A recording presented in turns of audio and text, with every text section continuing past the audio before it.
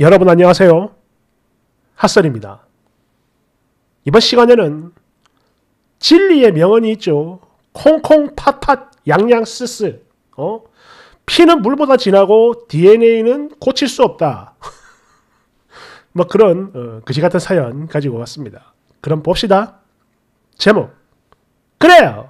저희 엄마랑 아빠가 당신들 사위, 남편을 좀 괴롭힌 건 맞습니다. 맞는데, 그런데 이걸 가지고 정신병원에 간대요, 글쎄. 아니, 벌써 2년이나 지난 옛날 일인데, 왜 못 있는 걸까요? 쪼잔하게.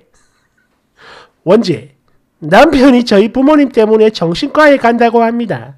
여러분 안녕하세요. 저는 결혼 3년 차, 그리고 30대 초반 동갑내기 부부예요. 맞벌이 중이고요. 글을 쓰고 있는 저는 아내입니다. 제목 그대로 저희 남편이 저희 부모님들 때문에 지금 너무 아프고 힘들어서 정신과에 갈 거라고 하는데요. 여러분들 보시고 조언 좀 해주세요. 일단 저희 부모님은 이혼을 한 상태예요. 각자 계시죠?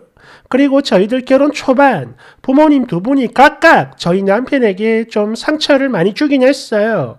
특히 신혼 초에 저희 남편은 원래 저희 아빠가 운영하는 그 가게를 물려받을 생각으로 한동안 아빠 밑에 들어가 같이 일을 했는데 이때 이래저래 좀 많이 부딪혔던 모양입니다.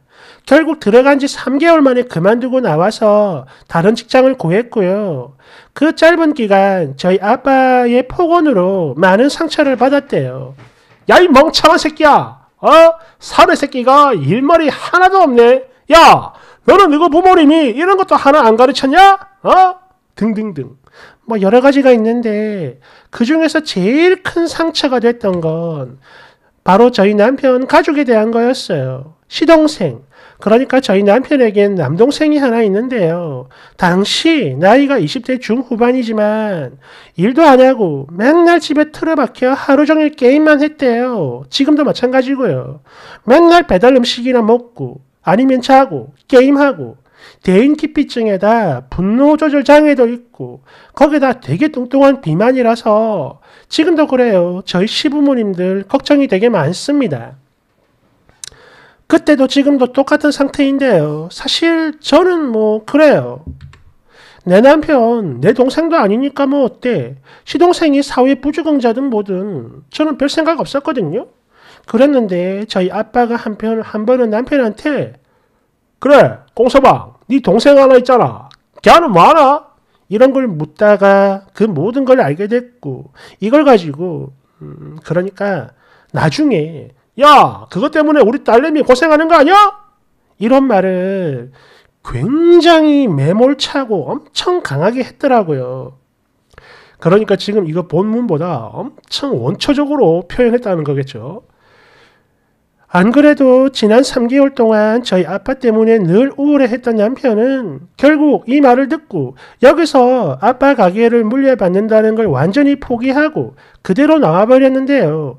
솔직히 이건 딸인 제가 봐도 저희 아빠가 선을 넘은 거라서 저 역시 남편 생각 진심으로 지지했어요. 저는 남편 편이라고요. 아빠 편 아닙니다. 아니 당시에는 그 정도로 심한 줄 전혀 모르고 있다가 일을 관두고 나와서 뒤늦게 모든 걸 다 말해줬고 그때 알게 된 거예요. 이 말을 듣고 저도 화가 나서 당장 아빠한테 달려가 하나하나 다 따지고 싶었지만 뭐 그 누구보다 당신 성격을 잘 아는 저라서 또 어차피 그렇게 해봤자 전혀 이해를 못할 거라는 걸 잘 알기에 안 했어요. 특히 거기다가 아빠한테 지병까지 있거든요. 지금도 투병 중이세요. 그래서 그래 아픈 사람한테 또 성격이 원래 그런 사람인데 이게 다 무슨 의미가 있겠냐 싶어서 아빠한테는 그냥 아무 내색 안 했어요.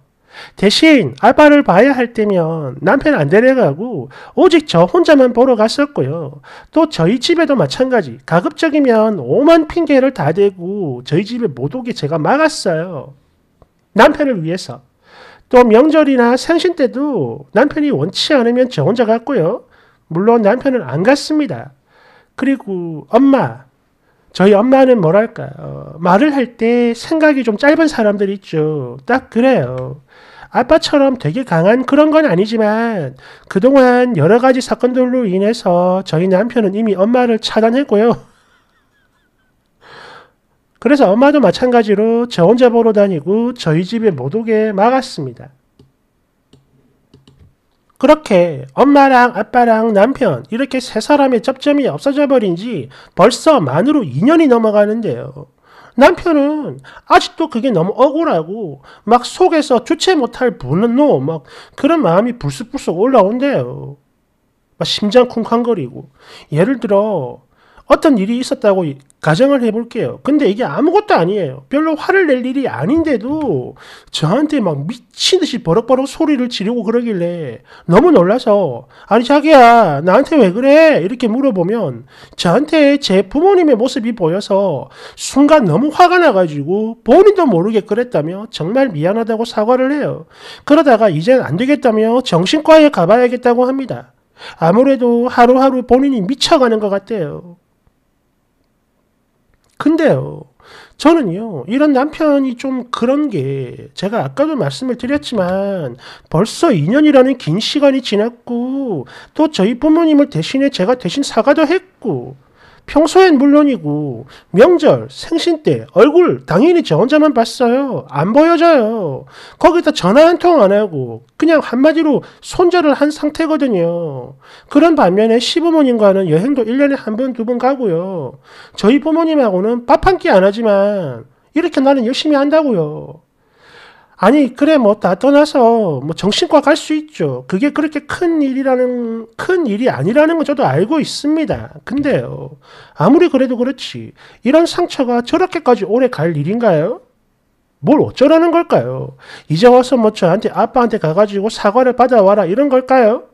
최대한 남편 앞에서는 부모님 얘기도 안 하고 있거든요. 거기다 이렇게 접점이 아예 없게 노력하는 거 열심히 하지만 그래 뭐 이거 말고 제가 뭘 더 할 수 있을까요? 좀 부탁드립니다. 학교도 집. 댓글 1번. 와, 이 여자 말하는 꼬라지 봐라. 아니, 상처를 준 사람한테 아직 아무 사과도 못 받았는데, 시간 좀 지났고, 또 이제 아예 안 보면서 하니까 대충 추스르고, 잊어라 이거야, 지금?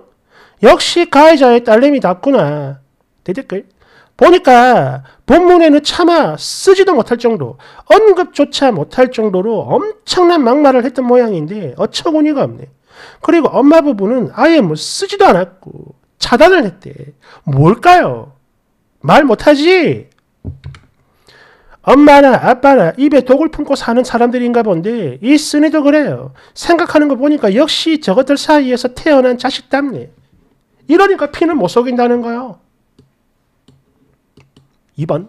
아니, 마음에도 없는 억지 사과 받아서 뭐하게요? 뭐 이제 사과했으니까 우리 엄마 아빠 같이 보자 이럴 겁니까? 지금 당장 정신과 가라고 해요. 아니 같이 가세요. 내 분명히 말하는데 너 남편 앞에서 아니 이게 그렇게 오래 갈 일이야? 이딴 소리 입 밖에 내는 순간 네 부모와 똑같은 가해자 되는 겁니다. 알겠어요?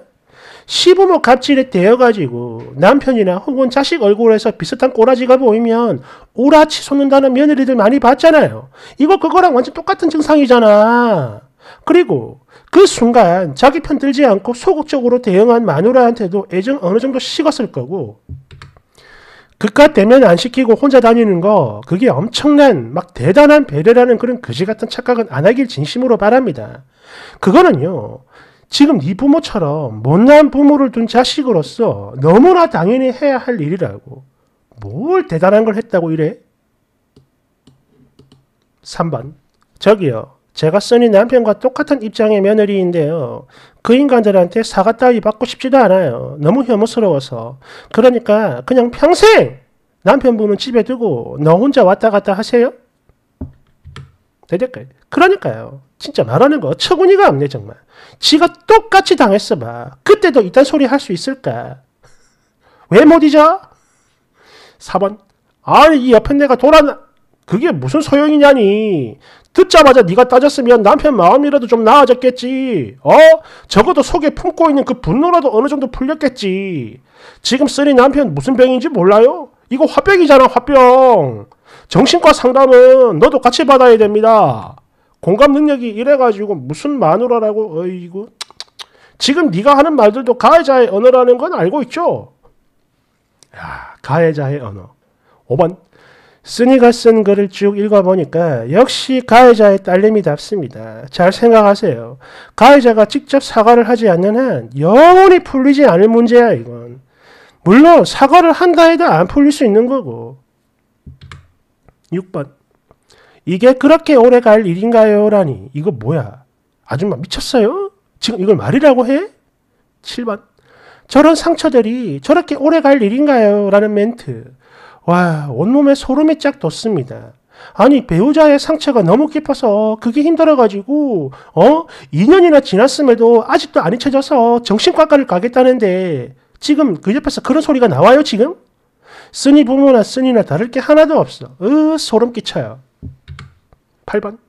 역시 그 부모 밑에 그 딸이구만. 너도 엄마처럼 생각이 짧고 말 함부로 하고 네가 아빠처럼 공감 능력이 확 떨어지고 그러지? 어?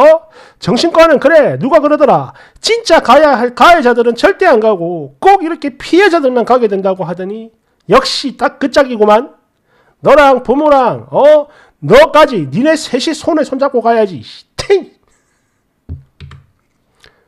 왜 아직도 이러고 있냐니 헐 남편의 고통을 너무 쉽게 생각하는 거 진짜 소름 돋는다 와 그렇구나 이런 게 바로 가해자의 마음이라는 거구나 어, 그래.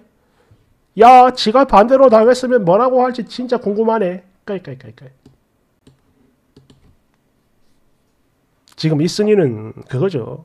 아니, 내가 괴롭힌 것도 아니고 나는 그래도 옆에서 열심히 할 만큼 했는데 왜 이러는 거야? 이런 느낌이 드는데 착각을 하면 안 되는 게 할 만큼 한 게 아닙니다. 그죠?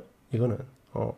할 만큼 한 거라는 건 최소한 같이 싸우고 뒤집어 엎었어야지. 그게 최소한인데. 아무 말도 안 하고 꽁 그러면서 은근히 남자가 돼가지고 아직도 꽁해 있네 이런 느낌도 들고 말이죠. 어. 물론 뭐 제 착각일 수도 있겠지만 어쨌든 그렇습니다. 역시나 어, 글삭티 했어요. 음, 없더라고. 감사합니다.